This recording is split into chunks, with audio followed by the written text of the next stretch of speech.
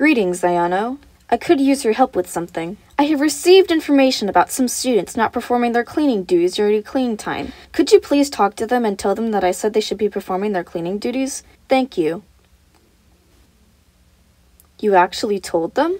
Well, maybe Megami was wrong about you. But thank you for your help. You're in my personal space. Cease and desist. Hello, dear. I could use your help with something. You see, I'm having some boy problems, and I can't seem to get the boy I like to like me for who I am. Could you please ask him what he thinks of me? I just want to know if he likes me or not. He really said that? Gosh, I never thought he felt that way. Thanks for your help, dear. Now I can tell him how I feel.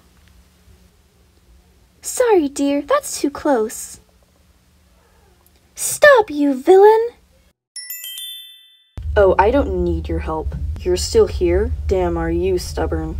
Alright, I could use your help teaching the delinquents a lesson. Something about them makes them seem untrustworthy. Could you fight the delinquents for me? I would do but then I'd be kicked out of the council. I won't tell anyone you did this for me, okay? You actually did it? What a badass. I totally underestimated you. You're a lot tougher than you look, I'll say that.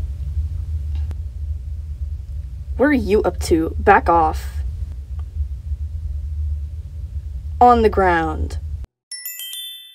Oh, um, I guess I could use your help on something. You see, I heard a rumor about a student who is cheating on a test. I need someone to distract him so I can search in his belongings. Can you distract him for me?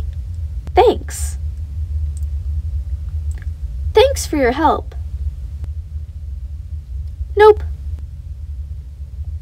Sorry.